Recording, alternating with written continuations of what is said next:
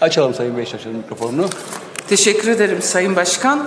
Ben dünden başlayayım, daha önceki pratiklerden de başlayayım.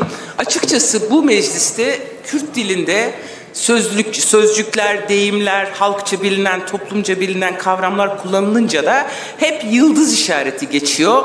Dün eş genel başkanımızın iki defa söylediği Jinjiyan Azadi de tutanak elimde yine bir yıldız işareti olarak geçti. Bu ayrımcı bir pratiktir. Öncelikle bunu söyleyeyim.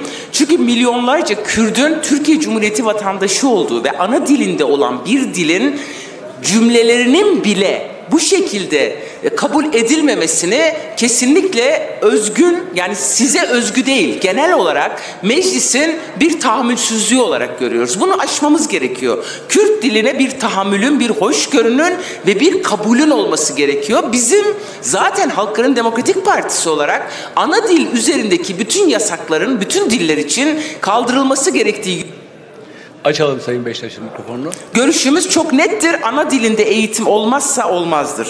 Şimdi 2014 yılında IŞİD çeteleri Kuzeydoğu Suriye Rojava topraklarını yağmalayıp işgal ettiğinde Jinjiyan Azadi sloganıyla bir kadın devrimi yaşandı.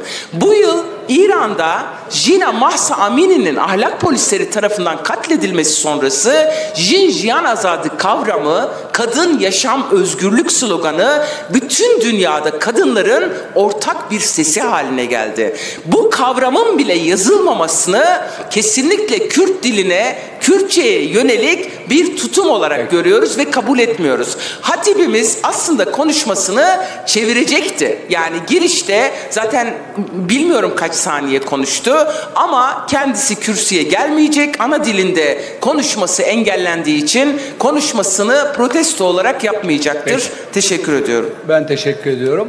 Daha önce de aynı tutumu göstermiştim. Konuşmacı arkadaşları zaman zaman uyarıyorum ve daha sonra ter tercümesini yaparak genel kurula hitap ediyorlar. Birkaç defa uyarmama rağmen ilgili arkadaş ısrarla devam etmek istedi. Ee, X olarak gösterilmesi sadece Kürt diline özgü bir şey değil. Bununla ilgili de Sayın TBMM adına görüş, e, kürsüden konuşma yapacak olan Sayın Süreyya Sade Bilgiç kürsüden niçin bu şekilde kullanıldığını açıklayacaktır diye düşünüyorum.